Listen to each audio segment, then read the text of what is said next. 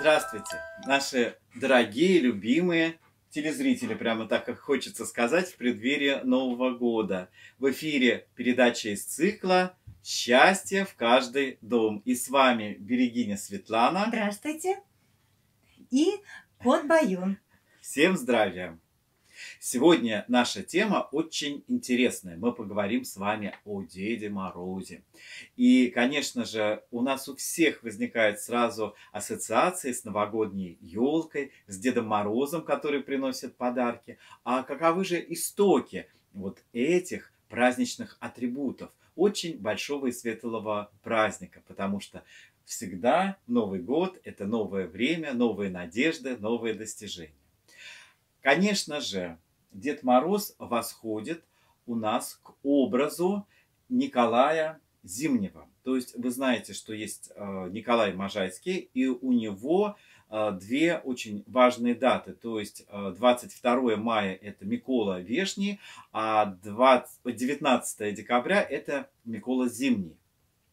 И вот что интересно, на Руси считалось, что именно в этот день закрываются врата старого времени и вскоре будут открыты врата нового времени. То есть это самое мощное такое преддверие Нового года. То есть так же, как весной Никола Вешний открывает врата лета, да. а зимой, получается, он открывает зимние врата. Зимние врата. И главный, конечно, любимый наш зимний праздник, Новый год, а, Николай Чудотворец, он а, радостно исполняет а, какие-то пожелания наши даже всегда помогает. Вы знаете, ему молились и моряки, ему молились э, все, кто были в пути. Э, конечно, очень сильно ему молятся всегда студенты. Э, то есть э, все люди, конечно же, уповают на чудо. Нужно сказать, что если окунуться в традицию, то можно узнать, что на самом деле Дед Мороза было целых три.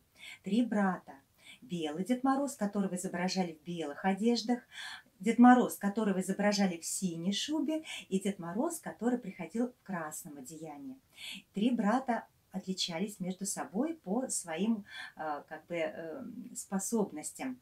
Самый старший брат – это Дед Мороз, который приходил в белой шубе. Это самый строгий Дед Мороз, который приносил самые крепкие морозы. Именно он заковывает все реки во льды, кует, э, заковывает землю, э, создает такие вот прочные-прочные дороги. То есть это Дед Мороз, который действительно самый-самый сильный мороз. И раньше, чтобы его умилостивить, варили кисель и просили, чтобы он не морозил так сильно, чтобы сохранить все-таки жизнь, сохранить все живое. А, а еще вот... ему посвящали колобки. 12 колобков обязательно. Да, пекли колобки, чтобы умилостливить его, раздобрить, потому что мороз, конечно, все-таки нужен зимой, нужен, но, нужен. Да, но в своих пределах. А вот два брата, Дед Мороз э, синий говорили, Дед Мороз кра- красный. Почему их так называли? Потому что Дед Мороз синий нос, он морозил ленивых. И такие люди, как правило, на морозе такие си- синие становятся. Они синеют, потому что они мало двигаются. А вот э, люди трудолюбивые, подвижные, на морозе, наоборот, становятся румяные, красные. И их очень любит Дед Мороз в красном одеянии. Вот такая интересная история. Оказывается, Дед Мороза целых три. Но к нам на Новый год – Э, как правило, приходит Дед Мороз в красном одеянии и приносит свои подарки. Это очень-очень древняя традиция. У нас в России она э, практически не прерывалась с 1935 года, когда э, указом правительства э, было утверждено, чтобы на елке к детям приходил Дед Мороз и обязательно им приносил подарки. А вообще Дед Мороз э, есть у каждого народа, и он Э, имеет свое имя. Например, в Австралии его называют Сильвестр, в Башкирии – Кышбабай, в Белоруссии – Зюзя, в Болгарии – Дед Каледа, в Венгрии – Миколаш, Египет – Папа Ноэль, э, в Казахстане – Калату-Нага, в Китае – Шэнь-Дань Лаурен, в Кубе – Бальтасар, в Польше – Святой Николай – Поэтому, вот видите, такой замечательный, добрый, счастливый образ есть у всех людей на Земле.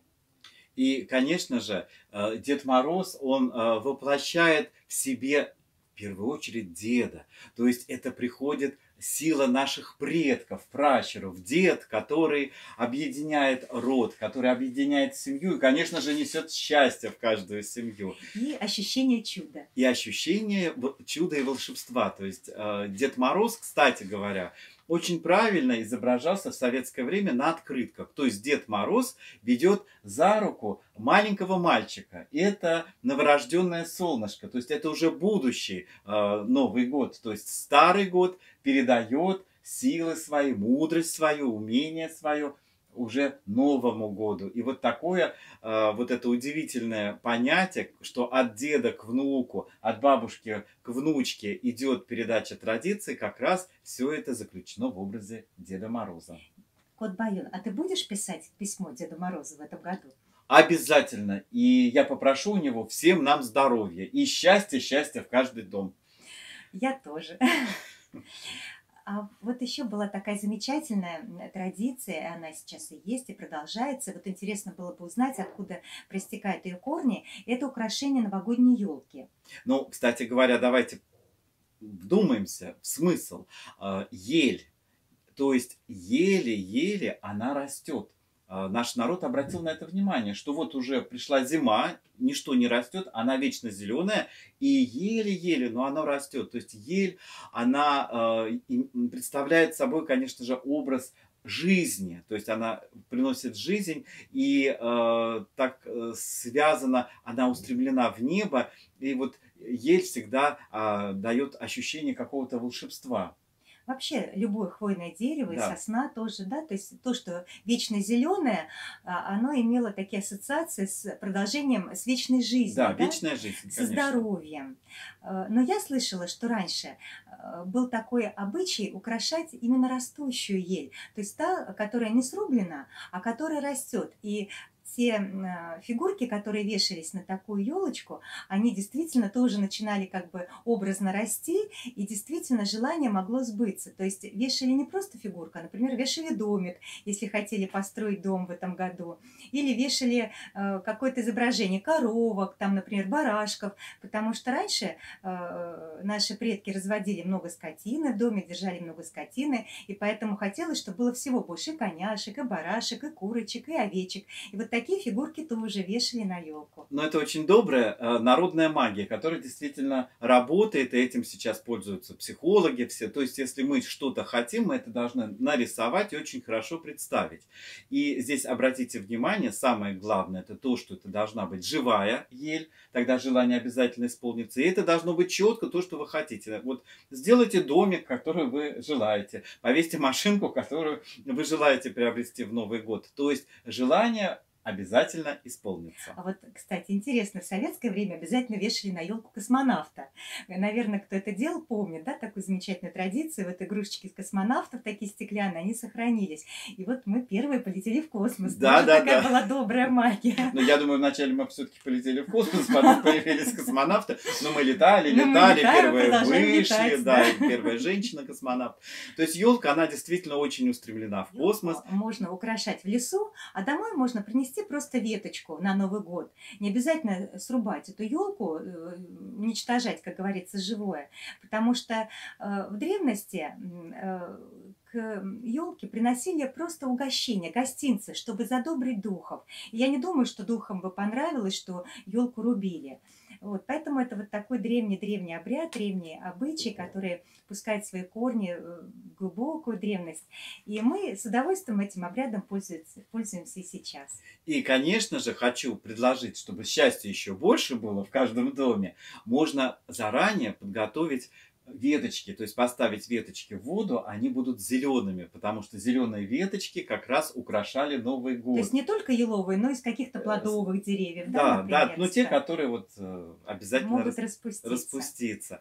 Поэтому вот сегодня мы вам поведали о Деде Морозе, о елочке, и ваше домашнее задание это все-таки, скажите, пожалуйста, вот Дед Мороз, Дедушка Снегурочки, а мамы у Снегурочки кто? На этом наша передача сегодня подошла к концу. Мы ждем вас на новых передачах и желаем счастья, счастья в каждый дом. Мы в ладонях принесем счастья мне и тебе, Счастья, счастья, счастья мне и тебе. Счастья, счастья. Всем счастья! С наступающим Новым, Новым годом! годом! Ура!